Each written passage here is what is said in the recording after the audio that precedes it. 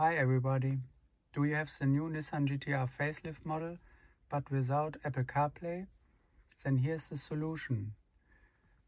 The new software from Xanavi.net you can install on your old system. It's very easy process, only a software update without install anything else. After updating process, which is very easy and the guys from Xanavi.net help you. You have full functional CarPlay on your old system. All other functions are normal. Here's a normal radio, the normal map, map function, car functions. But on the start screen you have the new Apple CarPlay logo. After put in the USB cable under the armrest,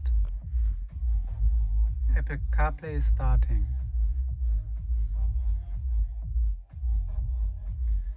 All apps on your phone are now accessible. It's very cool and very easy.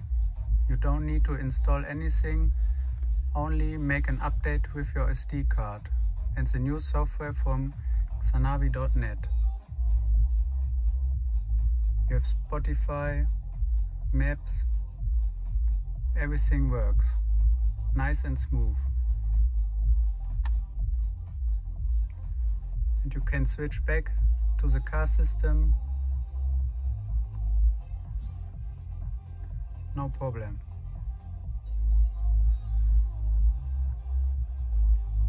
Contact the guys from Xanavi.net for more infos and prices.